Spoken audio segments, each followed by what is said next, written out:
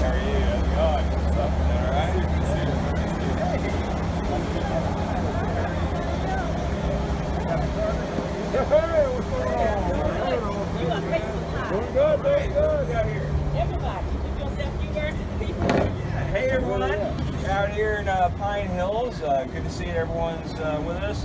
Uh, so we're doing this for National Night Out. We're proud of all the neighborhood watches out in Pine Hills, and your neighborhood watch is the number one way that you can prevent crime in your community.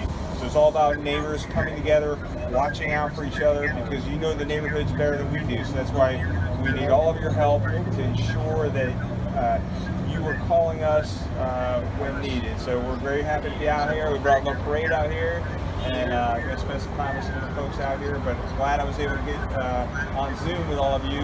So this year's National Night Out has been a, a little different.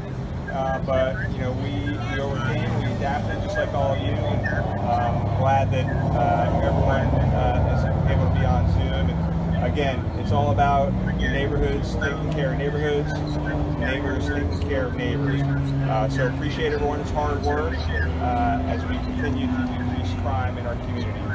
Thank you.